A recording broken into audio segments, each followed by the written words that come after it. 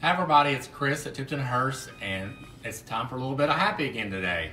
So what I thought we'd try to do is to do something a little bit different in the fact that, you know, in the flower business, we always have all these stems left, especially all these rose stems.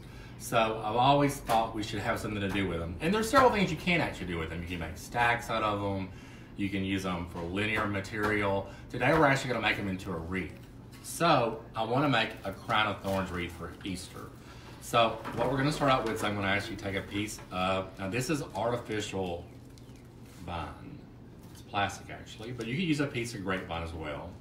This is just what I found in the back and I'm lazy and didn't wanna keep looking for something else. And so we're gonna wrap that around that. And that's gonna be our base, just like that. Now we're gonna go back and take a little bit of this honeysuckle vine, Asian honeysuckle, and this comes from Knud Nielsen. We're gonna put that there.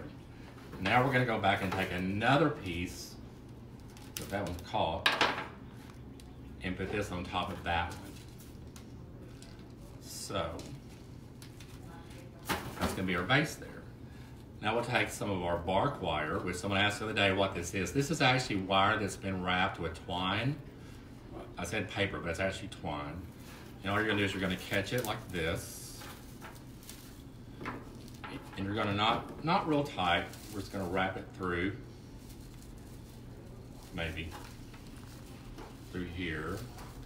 And this is gonna hold it in place for us. We do this, we wrap that up like that. There we go. Work smarter, not harder. There, into that. Then we'll double wrap it like this to catch it. And I will cut that off. And we'll just attach like that. It's really not, the catch on this is not that important because by the time we get through, it won't really matter. So there's our wreath that we just made. So now we're gonna go back and take our rose stems that are extra. We're gonna take all the foliage off of them. Like that. Because we always have these left over, especially after funeral work, we're making like, you know, wreaths or crosses or whatever. You always have this left. So what I thought, what a better way to take these thorny stems, which some of these don't have thorns like they used to. The old varieties used to be full of thorns, especially the, the rose stems out of a garden have a lot of thorns. Of course, you know where the thorn comes from on a rose. Supposedly, that in the Garden of Eden, after Adam and Eve committed the first original sin, God went back and put thorns on the rose to remind us of the original sin. So it always pricks, it looks beautiful, but until you touch it and then it pricks you, reminds you of the original sin. So that's where that came from, supposedly. So now we're going to go back and take our rose stems. We're just going to cut them in half.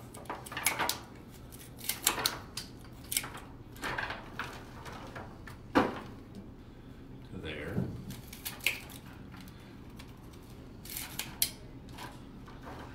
The brown ones. And actually these will turn brown the more they dry out. But some varieties, the stems are darker than others. Some have more thorns than others, for sure.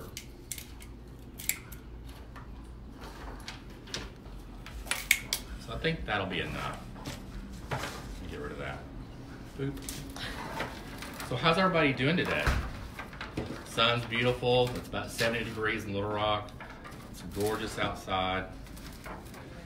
It's hard to believe that all this is going on with such a beautiful day, but it is. So we're just trying to take it one day at a time. So, so what I'm doing is I'm actually inserting these all the way around like that, and I'm using the honeysuckle to catch that.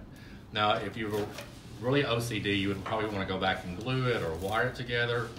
But for time's sake, I don't think y'all want to sit here and watch me do 10,000 wire pieces of wire or work with a glue gun. So I'm just going to quickly insert these around. So what you want to do is have some of the pieces for sure that have more thorns.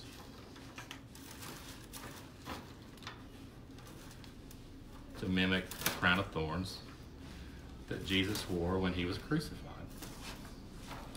Remember as a child growing up, and in McCrory, we always had community services on Good Friday. And for some reason, it was like one of the saddest days for me because I always thought about the pain and the suffering that Jesus went through. So, Good Friday, I never understood why they called it Good Friday other than the fact that it was good because he saved us from everything. So, so we keep putting those in there. Quick and easy, no right or wrong. Come on through, Barbara. We got a customer mean, out front, so we're gonna walk, go walk around that way, probably easier down here. Okay.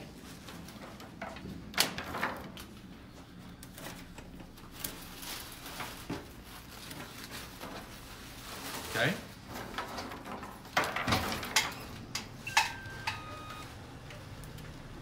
You guys get even some longer pieces, because you can always go back and cut them off.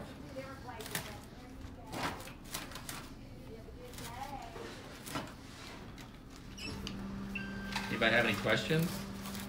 No questions. I hope that's a good thing, that's a bad thing. That might be a bad thing. No questions.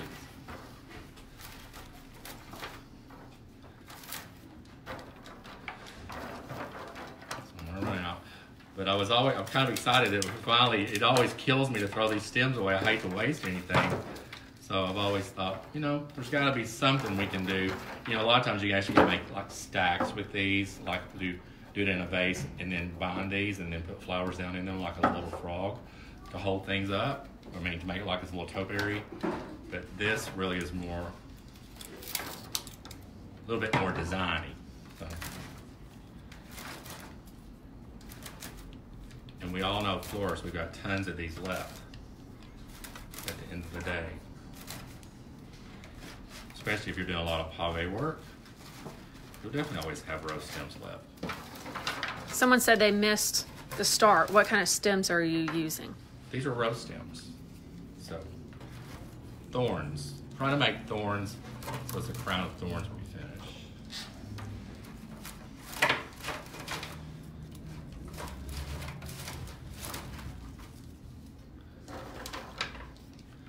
So I'll hold it up, getting close to this part of it.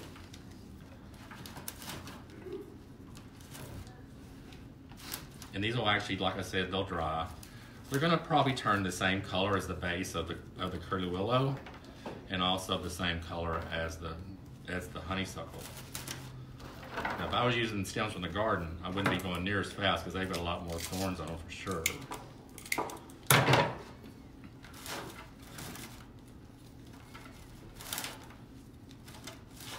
Matter of fact, 10 years ago, I couldn't have done it this fast because through hibernization, butchered that word, they a lot of the varieties now long, no longer have the amount of thorns that they used to.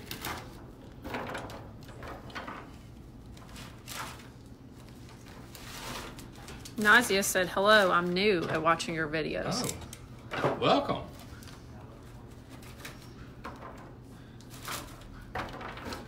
Glad you're with us. And if anybody has any suggestions, we'd love to hear them.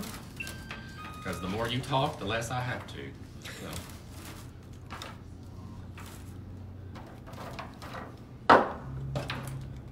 So, so I think that's a pretty good representation around the whole wreath as far as trying to mimic thorns.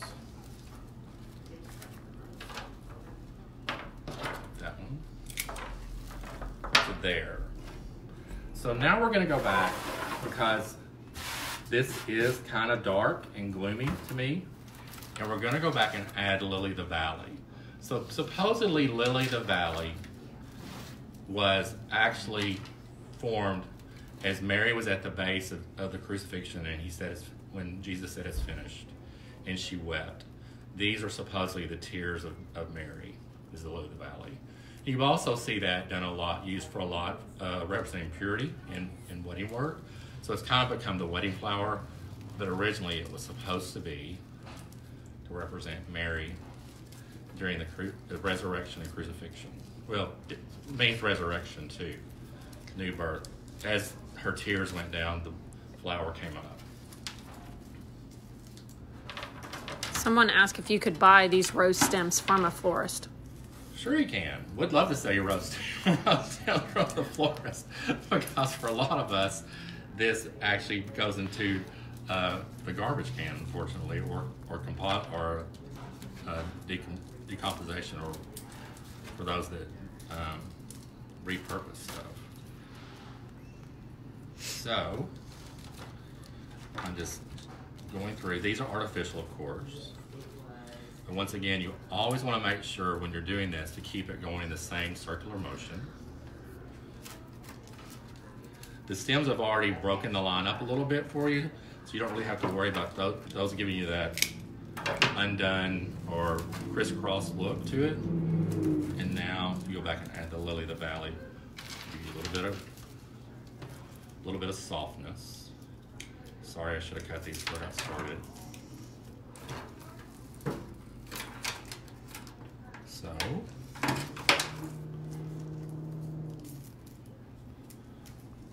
There's that. This one does not come undone very well.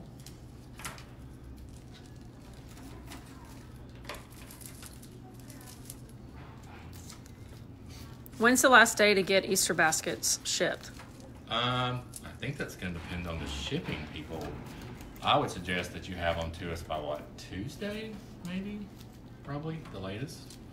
As far as not having to pay an extra charge, I mean express charge or anything. But yeah, love to make Easter baskets. We've got a ton of really fun stuff for Easter baskets, and we love to take care of you. And if you live in town, we actually can go online and pick them out and look at it.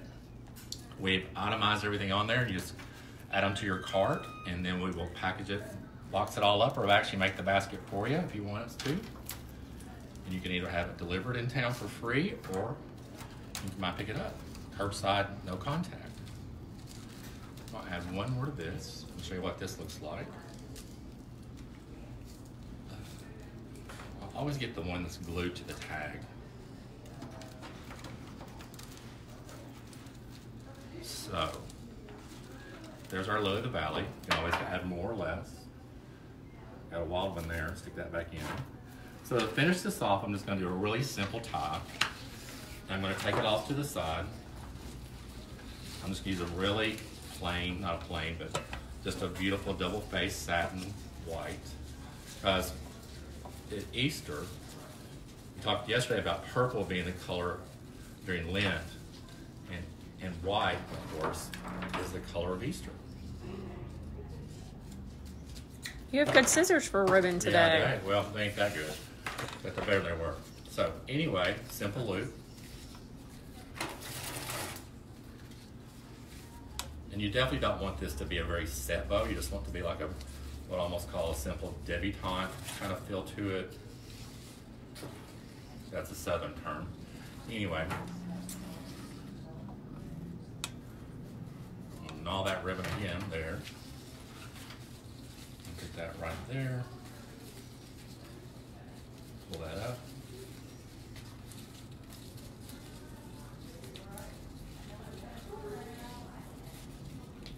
Thing about double face satin, it's kind of slick, a little slippery. Push that in.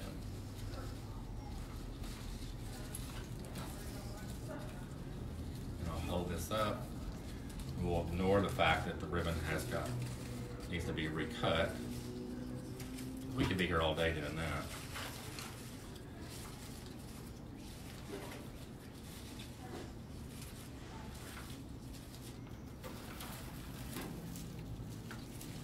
Well, That ain't the best bow ever made, but it is what it is at this point. So there you go. So that's our crown of thorns Easter wreath. So I hope you had a little bit of happy today.